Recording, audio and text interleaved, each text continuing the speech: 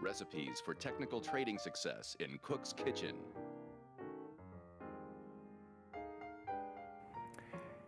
Get ready, Elroy Jetson fans. We're going to do some deep learning today, and you're going to get your MPA. MPA stands for Massively Parallel Architecture.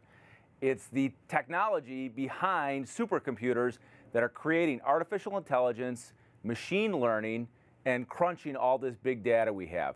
Big news in uh, the past couple of weeks here IBM continues to remain at the center of all this, an alliance with Salesforce, and continuing innovations with NVIDIA, the, uh, the chip maker you may know from all the high powered uh, gaming they create. But they're also creating supercomputers. And so we're going to dive into some of that today. First, some of the news from big data, machine learning, artificial intelligence land uh, IBM and Salesforce got together on March 6th. Now, you, you, can go read the press release yourself. I just want to highlight what I highlighted here in black that you're bringing together IBM's Watson and Salesforce's Einstein. That's uh, Salesforce's uh, AI platform. So they're working together. What's funny about this is the day that this news came out, uh, Jim Cramer was speculating, you know, somebody needs to buy Salesforce. Somebody's going to buy them because you know they're the premier embedded uh, CRM for enterprises, and he speculated it would have to be Google.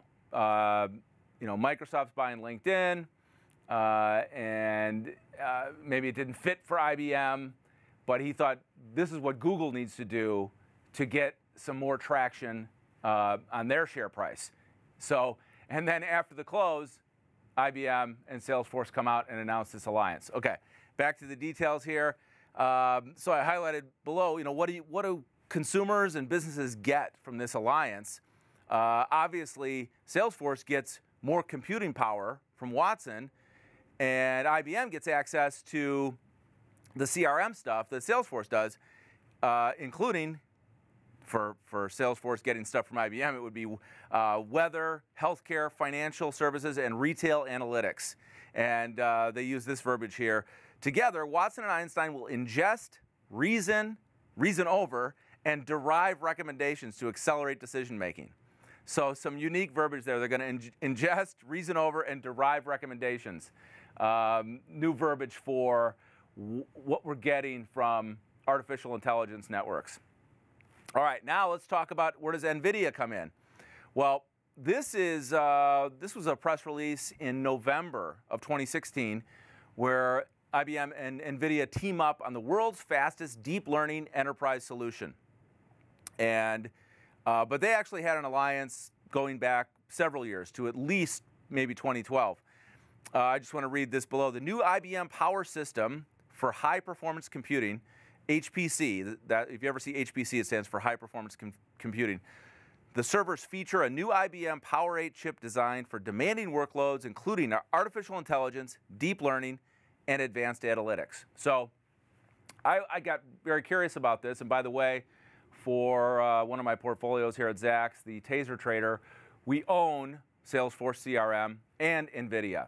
And so I was getting more curious about what kind of chips is NVIDIA creating to, to uh, you know, power deep learning, machine learning, and artificial intelligence. All right, so it all comes down to parallel processing.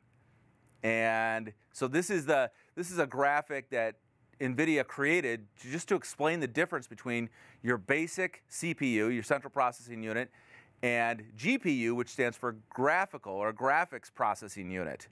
And the whole idea is that you have a thousand, thousands of more cores to process information in parallel versus just having all these central cores that process in a serial fashion, in a, in a linear fashion. So that's the basic idea behind massively parallel architecture, MPA, sometimes called massive parallel processing too. But they like the, the engineers like to call it massively uh, I, I, think it gets the point across that that when they create these on scale, uh, that's where the benefits come in for deep learning and artificial intelligence. By the way, uh, longtime followers know that um, I've been an investor in Mobileye, the company that's making uh, machine vision for self-driving cars. They're out of uh, Israel.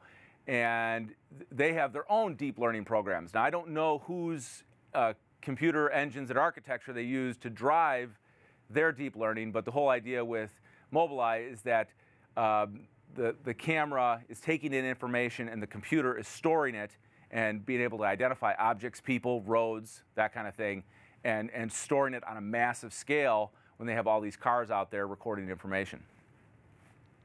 All right, diving deeper into how GPU acceleration works, this is also a slide from NVIDIA. So uh, the application code I would assume would be the instructions, the software, and it's using the CPUs uh, for serial processing, and but can send some instructions over to GPUs, multiple processors there, uh, and and have things running in tandem. And the last look is a slide. Um, this is also from NVIDIA, but it's based on an article from uh, AnandTech. AnandTech is a blog that's been around for probably 20 years. It's uh, run by Anton uh, Shilov. And this is an article he wrote in April 2016 where he's talking about the IBM and NVIDIA um, team up, so to speak, and trying to describe it. Now, so if you go on, uh, on his site, you can find a ton of great articles about this, as, as well as the NVIDIA and IBM sites. Uh, but you get a, an outside observer perspective from a, from a tech freak here uh, with uh, AnandTech. And let me just read a, a, few of the things he talks about in this article from April 2016 when uh, many of these things were still in development that we just learned about in November. So this is, he was calling this their second generation high performance computing HPC application. And the machine is designed for IBM's latest Power 8 microprocessors and NVIDIA's Tesla P100 compute accelerators. Uh, Tesla, not to be confused with the car maker Tesla, um, obviously popular name among anybody in engineering or technology. So what, what I thought stood out here is that you know the way IBM and NVIDIA are combining uh, at least two IBM CPUs and four of these Tesla P100 accelerators. And apparently the uh, IBM Power 8 CPUs have 12 cores, each of which can handle eight hardware threads at the same time, thanks to 16 execution pipelines. So uh, you can see the network here and how it builds. And this is, you know, massively parallel architecture. MPA is what creates machine learning, deep learning, and artificial intelligence. I put that in quotes because, you know, the people, if we're really trying to model the human brain, it may take another couple centuries before we can duplicate it. But in the meantime, we're, uh, you know, IBM, Watson, and anybody trying to do stuff with deep learning is coming close to some form of machine intelligence by being able to crunch all this data at super high speeds. All right, I think that's all I wanted to talk about artificial intelligence and the rise of machines. Oh, one more thing. Uh, and NVIDIA just uh, sold a bunch of chips to Fujitsu, who is building a new supercomputer in Japan. Now, I mean, these things are, NVIDIA's chips are already, and their processors are already in many university research centers, probably a few government ones too, uh, crunching the big data and uh, keeping an eye on us all and trying to learn new things. All right, thanks for joining me in the kitchen.